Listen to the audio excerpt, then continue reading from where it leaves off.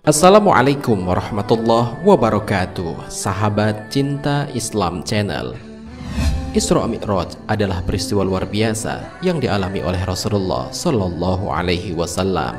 Selain keajaiban perjalanan super cepat, yakni dari Mekah ke Palestina dan naik ke Sidratul Muntaha untuk menjemput perintah sholat lima waktu, Nabi Muhammad Shallallahu Alaihi Wasallam juga diperlihatkan surga dan neraka. Saat diperlihatkan neraka, Nabi Muhammad diperlihatkan berbagai umatnya yang kelak akan menjadi penghuni neraka mereka diberikan siksa yang sangat pedih dari Allah Subhanahu wa taala.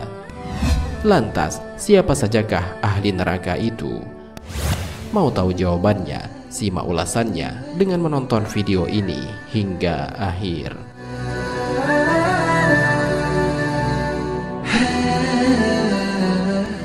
Sebelum lanjut, bagi kalian yang belum subscribe, silahkan untuk menekan tombol subscribe terlebih dahulu. Aktifkan lonceng notifikasinya. Bagikan video ini kepada teman-teman kalian agar semakin banyak orang yang mendapatkan manfaat dari channel ini.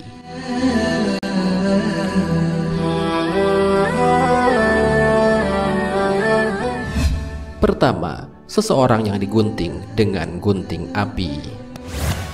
Pada saat melihat neraka, Rasulullah Shallallahu Alaihi Wasallam diperlihatkan sejumlah orang yang diberikan azab dengan digunting bibirnya dengan gunting api. Mereka itu adalah para juru dakwah yang memerintahkan kebaikan kepada orang lain, akan tetapi mereka lupa akan dirinya sendiri. Hal ini sebagaimana termaktub dalam sebuah hadis dari Anas bin Malik radhiyallahu anhu, Rasulullah Shallallahu alaihi wasallam bersabda, "Pada malam diisrakan, Aku melihat sejumlah laki-laki yang digunting bibirnya dengan gunting api. Aku bertanya kepada Jibril, "Wahai Jibril, siapakah mereka?" Ia menjawab, "Mereka adalah para khotib dari kalangan umatmu. Mereka memerintahkan kebaikan kepada orang lain, namun mereka sendiri lupa akan dirinya sendiri. Mereka membaca Al-Quran. Apakah mereka tidak memikirkannya?" Hadis riwayat Ahmad.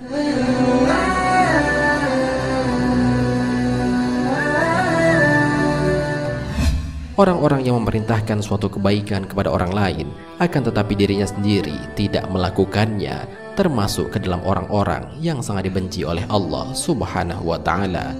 Hal ini sebagaimana Allah Subhanahu wa Ta'ala berfirman, "Amat besar kebencian di sisi Allah bahwa kamu mengatakan apa-apa yang tidak kamu kerjakan."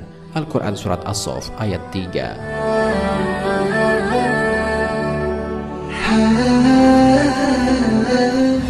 Kedua, orang yang perutnya sebesar rumah.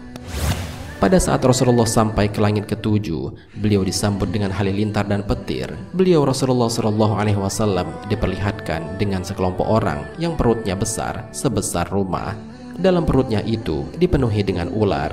Mereka itu adalah orang-orang yang suka memakan harta riba. Hal ini sebagaimana dijelaskan dalam sebuah hadis dari Abu Hurairah radhiyallahu anhu, Rasulullah shallallahu alaihi wasallam bersabda, pada malam diisrokan ketika sampai di langit ketujuh, aku melihat ke atasku. Ternyata aku melihat halilintar, kilat dan petir. Kemudian aku diperlihatkan pada suatu kaum yang perutnya besar seperti rumah yang dipenuhi dengan ular. Dan ular-ular itu terlihat dari luar. Aku bertanya pada Jibril, siapakah mereka Jibril?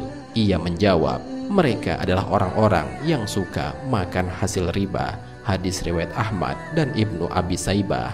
Sementara dalam sebuah riwayat dari Samurah Ibnu Jundab, Rasulullah Shallallahu Alaihi Wasallam bersabda, pada malam diisrokan, aku melihat seorang laki-laki yang berenang di sebuah sungai dan disuapi dengan batu.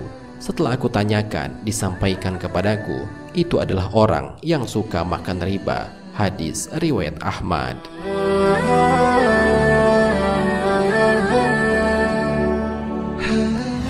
Ketiga, orang yang memiliki bibir seperti bibir unta.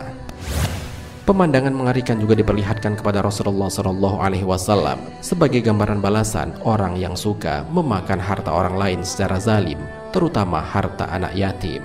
Mereka diberikan siksa oleh Allah dengan memiliki bibir seperti bibir unta. Hal ini sebagaimana termaktub dalam sebuah riwayat dari Abu Said Al Khudri. Rasulullah Shallallahu Alaihi Wasallam bersabda, Pada malam diisrokan, aku melihat suatu kaum yang memiliki bibir seperti bibir unta. Di tengah mereka, ada seorang yang dipercaya menarik bibir tersebut. Kemudian ke mulut mereka dimasukkan batu dari neraka, dan batu itu keluar dari bawah mereka. Aku tanyakan, siapakah mereka Jibril? Ia menjawab, mereka adalah orang-orang yang suka makan harta anak yatim secara zalim.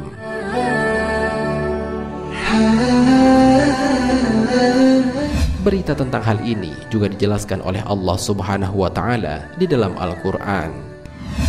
Sesungguhnya orang-orang yang memakan harta anak yatim secara zalim, sebenarnya mereka itu menelan api sepenuh perutnya dan mereka akan masuk ke dalam api yang menyala-nyala atau neraka. Al-Quran Surat An-Nisa ayat 10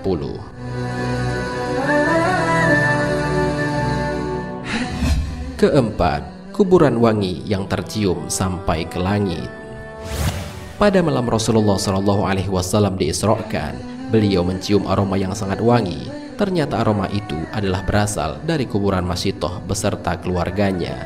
Mereka adalah satu keluarga yang berjuang mempertahankan keimanannya dan menghadapi penyiksaan Raja Fir'aun untuk direbus di atas wajan panas. Hal ini sebagaimana termaktub dalam sebuah hadis. Pada malam diisrokan, aku mencium aroma yang sangat wangi Aku tanyakan, Jibril, wangi apakah ini? Ia menjawab, ini adalah wangi kuburan Masito, putri dan suaminya. Hadis riwayat At-Tabrani.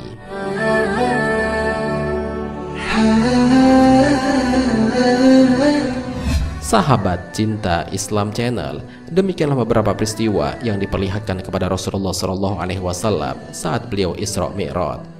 Selain mendapatkan perintah sholat lima waktu dari Allah Subhanahu wa Ta'ala, juga Rasulullah Shallallahu Alaihi Wasallam mendapatkan banyak gambaran tentang siksa neraka dan nikmat surga. Semua itu hendaklah menjadi sebuah pelajaran bagi kita sebagai umatnya, sehingga dapat menjauhi hal-hal yang menjerumuskan ke dalam neraka dan semakin banyak mengumpulkan bekal kebaikan sebagai bekal menuju ke surganya Allah Subhanahu wa Ta'ala. Amin ya Rabbal 'Alamin. Wallahu a'lam bisawab. Jika terdapat kesalahan dalam penyampaian ini, admin mohon maaf dan itu merupakan kesalahan dari admin sendiri. Jika ada benarnya, itu adalah dari Allah Subhanahu wa taala. Semoga bermanfaat. Wassalamualaikum warahmatullahi wabarakatuh.